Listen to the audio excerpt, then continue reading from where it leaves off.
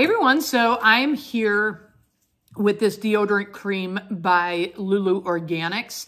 Um, this is the lavender and clary sage uh, scent, and I love this stuff. It smells absolutely phenomenal.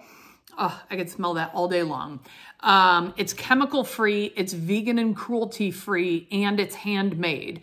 Uh, it comes in two scents, but for me, it's been highly effective. Um, so I very highly recommend um, this brand and this deodorant cream. Um, basically, what you're going to do is uh, just take a little bit, maybe a little bit more than that. Little bit on your finger, not much. Uh, a little bit goes a long way. And then uh, you put it on your armpit like I'm doing right now.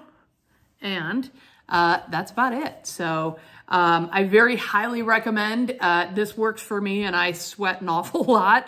Um, and I hope you enjoy it.